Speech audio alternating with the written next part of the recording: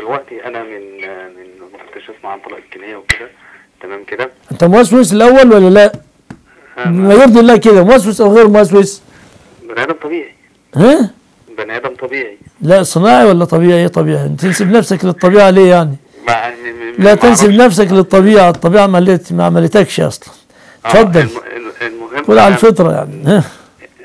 فترة بقى لما أنا جيت قريت طبعا عن طلاق الكنيه وكده فبدأت إن أنا أتذكر اللي حصل معايا وكده. إيه فأنا كان حصل معايا موقف من خمس سنين تمام كده؟ كان زوجتي يعني حصل آه، موقف وكانت اتحدثت إلى شخص أجنبي في التليفون وكده. فرحت وقلت لها رحت لشيخ يعني وقعدت معاه وأنا عندي بنت وكده.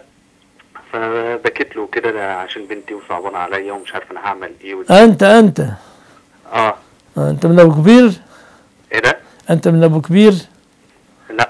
ها ولا اجورها آه من أجوار من ميت غمر. ماشي بس آه، ميت غمره ما بقولوش بنت.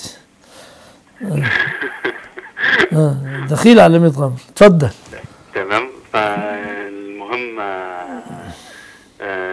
رحت قال لي لو أنت هتقدر إن لو هي لو هي حسيت منها توبة وكده وقدرت إن أنت تستحمل فدي ليك ثواب عند الله وكده. مش قدرت إن أنت تستحمل مش في حاجة عليك إن أنت لو أنت طيب. وبعدين إيه اللي حصل يا حبيبي؟ رحت ليها وتمام لها مش ليها ها؟ كده. إيه. رحت لها وقلت لها إيه. يا بنت الناس أنا دلوقتي آه، أنت أنا عندي بنت منك وأنا تعالى على المهم بس قلت إيه؟ حرك حرك سرعة.